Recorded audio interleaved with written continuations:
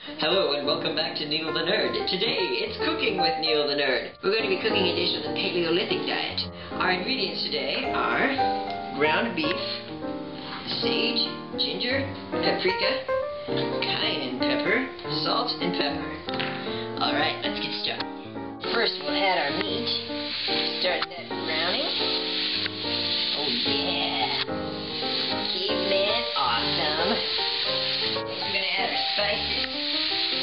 With a little sage.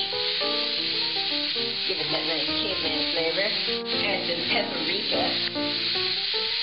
Because of course all cavemen use paprika in their cooking. Some ginger.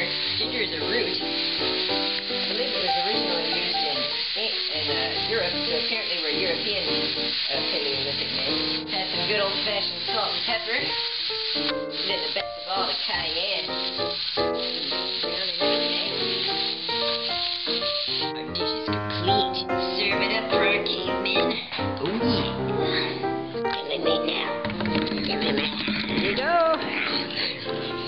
Good, good meat. Cave woman like. This is the first meal of my new Paleolithic diet, and I already feel like a caveman. Let's try it. Mmm. Mmm, it's good. Mmm. Thanks for watching Neil the Nerd. The question of the day today is what is your favorite recipe? Tell me in comments, and make sure you subscribe for a new nerdy vlog every single day.